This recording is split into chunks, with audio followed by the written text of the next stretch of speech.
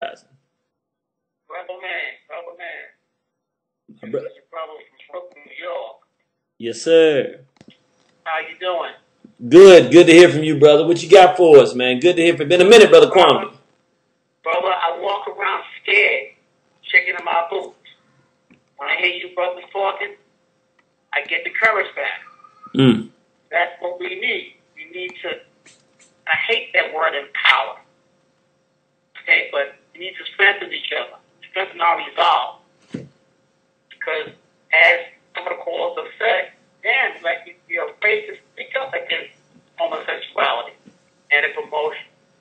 And it becomes 10 times more compounded because of Obama and the White House. Know? Um, but you mentioned something earlier about Chicago that holds political power. Not forget Jesse Jackson in 1984. He was the first one to put the homosexual agenda on the map as far as electoral politics. Mm. You see, what's interesting is like now they try to play this thing where with, with Obama, well, do you want to have uh, so and so or Romney? I remember whenever you brought up a few people up Jesse Jackson with homosexuality. Well, we need them in order to, to, uh, we need, we need their lobby with us. And, and after all, the most important thing is apartheid, South Africa. And you know, she was interested then. I spoke to them. If it means our boys clearly knowing what they're here for, and that is to make and come together with women and vice versa. I said Nelson Mandela could spend a hundred more years in jail. Never realized that he was being groomed for the right time. When he came out of prison, he pushed homosexuality into the Constitution of South Africa. That's true. Yes, sir. I never thought I I I I, I never thought that one. Okay? Because I remember him on Nelson Mandela in the seventies, you know, and his and his ex wife Winnie. And this woman named Chibi what they call band. And she's on house arrest. Okay? And you see this Nelson Mandela. I mean people were happy he was out. But then I remember something that he said. His first statement that he made. He said all of his life he has fought against white domination black domination. I said it's interesting because as long as he's been alive, the Boers have ruled this country. One has no black domination to fight against. Mm. Right there, I saw something. I saw something fishy. Mm. Nelson Mandela. Mm. Nelson Mandela, as they say. He never grew up in a situation of black domination. But the Boers stole our land in 1500. I remember all this started to unfold. And we just fell asleep. And said, well, they fought for that. We'll, we'll, keep, we'll keep pushing the other one. You see, even so-called revolutionaries, okay, holding on this issue of debasement, sexual debasement, and confusion. Huey Newton, Huey Newton wrote, wrote some manifesto for homosexuals, for, for uh, Huey Newton did it, the Black Panthers did it. Black people don't, don't, don't realize. And and I can say just for brothers and sisters who hearing that and are shocked or not sure, the brother's absolutely correct. Brother, brother, brother Huey P. Newton did do that near the end of his life. He he did he did do that. And, but let's, let's, let's go further. You mentioned uh, the, Trinity, the Trinity Church in Chicago, Obama's church. Isn't that also Opus Church? I think Opus Church also. Yeah, it's Oprah Winfrey. We said that. Yeah, yeah. Oprah Winfrey goes to that same church. Right. That's Oprah Winfrey's church. But they were kindred spirits from day one. What was getting more annoying, even when Obama says all this stuff, I guarantee you, the quote, the quote that you that you provided to us, right? His Word, I guarantee all of our people self research saying that He has a say for politics. It, it, it, it, it's as if though, I mean, I think about that song by Bob Marley, A Natural Mystic in the Air. Something, something's crazy. You gotta watch that movie, Invasion of the Body Snatchers. See, see what we're up against. It's as, it's as you, you look around, everybody is either in it or promoting it. And you might say, well, I, I'm being. But they're gone. Every day, every day, you see something. And, and, and I remember when Obama was on that Ellen DeGeneres show, dancing with her, dancing with that. And a brother I know, not with this, with this lifestyle. Well, our, our fathers, I, I do it too. I said, damn. So we have a lot, a lot, a lot of problems in our children, our target. Because one of the things that these homosexuals have said, as far as they're concerned, they're not going to convince me or convince you. But they're confident they're going to get to the children and convince them Mm. either to accept or practice. Mm. I mean, that brother, brother Tony, eight years old. Eight years old. I mean, if anything, if anything, you should have left a better protection the girl. That's right. If, if, any, if, if anything. If it was a little boy, he would have got in trouble because it's a little girl and his promotion of homosexuality, which is the main agenda. They won't do anything about it. And see, and, and, and this goes the whole thing. We, think about the brothers being criminalized going to prison, going homos. But forget now, women are going to jail in record, record numbers. Let me do this, brother. I really appreciate it, but you know we way we are hour over, so. Yeah, I know, I know. But um, do you want to wrap up with a statement? I'm, we got one last call on the line. I want to make sure we get to them. Well, well, yes, yes. I, I want to say, I, I got to say one thing. Many years ago, I was walking with my mother in Harlem, and happened upon a brother from the Black Panther Party. On the newspaper. She had a conversation a long time. I mean, you know, when you're a child, like a day. I said, Mom, what are you talking about? What's wrong with this man? She said, I heard that the Black Panthers were going to start embracing women's lib. I told them that's a mistake. Because when they do that, the rights go to white women and black men get nothing. And this is what we're seeing today.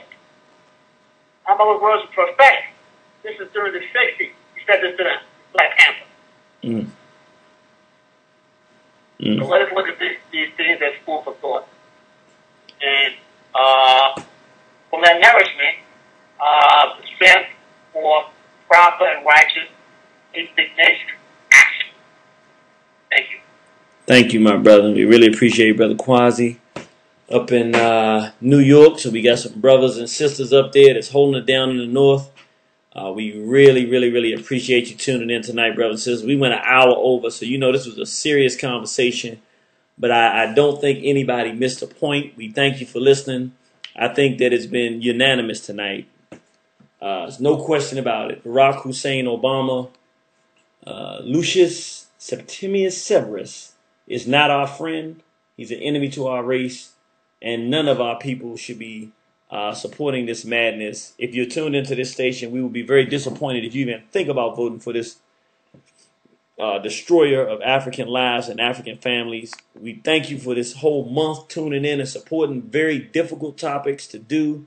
But I think that they're going to have some weight in the future with our people as we redevelop our thinking for the survival and the forward movement of our race. With that said, uh, this is the end of the month, uh, the month of August, which is the, the, the trial of martyrs, where they've been put on trial. All of them have found guilty, and all of them have gotten emotional and psychological death sentences by our people, where we will no longer support the madness associated with the N word, the madness associated with Jesus Christ, the madness associated with uh, Dr. Martin Luther King Jr., and uh, madness associated with uh, this magic mulatto enemy of African people, Barack Hussein Obama. We thank you for tuning in. We love you. We want you to tune in next month. If you think August was good, September is a whole new month. In September, now since we've had the trial of the martyrs, now we're going to have the Hall of Martyrs. We're going to have four ancestors that we're going to talk about their work. We got to have the good and the bad, and we're going to make the decision do they live forever as heroes of African people? Do the good outweigh the bad enough that they become permanent uh, uh, uh, uh, African nationalist heroes for our people? We're going to start the month off with Brother Marcus Garvey. Uh, it's all being done under the guise of the Honorable uh, Prophet Nathaniel Turner, who is the standard by which we set our bar here at One Horizon. And then we're going to do the most honorable Marcus Mosiah Garvey. We're going to do the most honorable Elijah Muhammad. We're going to do Brother Omar Brother Malcolm X, El Haj Malik Shabazz. And lastly, we're going to do Dr. Khalid Abdul Muhammad. And the question is, do these men, do they live in history forever, eternally, as heroes to African people? And we'll vote and we'll make a decision uh, we'll talk about the things, the hard things, the real discussion and dialogue, and we'll come to our conclusions and move forward from there. With that said, we want to remind you we know it's hard talk, hard discussion, but hey, we didn't come here to be your friends. We came here to save our race. We love you. And with that, brothers and sisters, we'll see you on the battlefield. War on the horizon. You gotta love it. Yeah, they say that this is a historical moment, so allow me to get historical inside of this moment. My people, whatever you do, be for who, who be for you. Uh, Lucius Septimius Severus, O ye black emperor of Rome. Barack Hussein Obama, black president of the brave people's home. Lucius Septimius Severus, O ye black emperor of Rome. Lucius, born in Africa, this history is crazy. Septimius became the emperor of Rome in 193 AD. Severus, we had high hopes for you, every African man, woman, and baby. But you became the metaphor of a weeping willow tree, so sad, so shady. You went along with their brutality. You went along with their insanity. In disregard for non-Roman humanity, you rejected your own history and adopted a Roman identity. Lucius Septimius Severus, O ye black emperor of Rome, Barack Hussein Obama, black president of the brave people's home. Oprah Winfrey's best friend is influential and her name is Gail. All best friends are influential and Barack Obama's best friend seems to be Israel. Even with glowing lights and makeup, the ugly truth can never hide. A black leader from South Africa recently went to Israel and said the treatment of Palestinians looks just like apartheid. Some say your speech on race was a nice try. You've given the image that you're a very, very nice guy and an oh so peaceful man. But I've read the transcripts of your speeches, and you want to bomb Iran, and you want to expand the war in Afghanistan.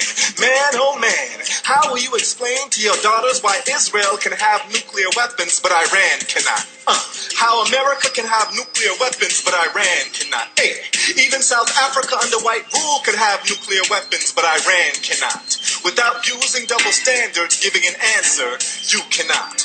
Lucius Septimius Severus, O ye black emperor of Rome. Barack Hussein Obama, black president of the brave people's home. Lucius Septimius Severus, O ye black emperor of Rome. You did not change the imperial policies of previous Caesars. You created fools out of those who were your serious believers. You defended the interests of Rome and not the interests of your father's home. You prided yourself as a black man who was a true patriot of Rome.